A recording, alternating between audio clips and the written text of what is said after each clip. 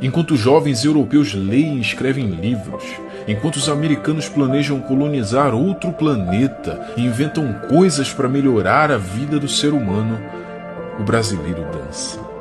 E como o brasileiro dança! Enquanto os asiáticos dominam a matemática, fabricam telefones, os carros e valorizam a educação, o brasileiro dança. O brasileiro dança nos pancadões, canta funks sujos e tem o seu cérebro lavado por ideologias impostas a ele. O brasileiro dança. A cabeça do brasileiro, na maioria das vezes, não pensa em nada, nada além de dançar.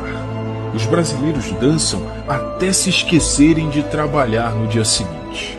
Enquanto os chineses vêm tomar a economia brasileira de mão beijada, ocupando todos os setores produtivos, o brasileiro continua dançando.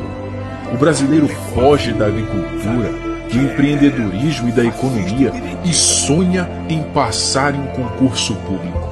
Sonha em viajar para um país de primeiro mundo ou ganhar na loteria. Mas enquanto esperam a sorte, eles continuam dançando, como o brasileiro dança. Eles dançam a dança da decadência. Concentram-se em figuras vazias, enquanto as ONGs e multinacionais tiram todas as riquezas da Amazônia, para no final ouvirem que estão destruindo a natureza com banhos maiores do que dois minutos e serem facilmente manipulados por políticos corruptos, matando uns aos outros por causa de um celular, sem entender que até esses mesmos políticos são meros peões em agendas internacionais.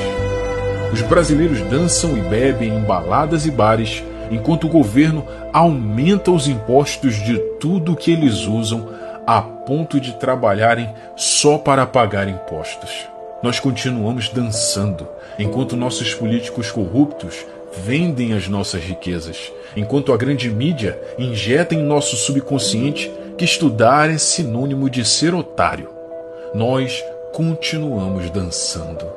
Enquanto as mulheres são submetidas à prostituição, ganhando visibilidade da mídia hipócrita para incentivar que outras mulheres se prostituam, as mulheres asiáticas ganham prêmios Nobel Enquanto o mundo debate sobre a revolução da inteligência artificial, o brasileiro se concentra no próximo carnaval para dançar até se cansar e depender do SUS até morrer.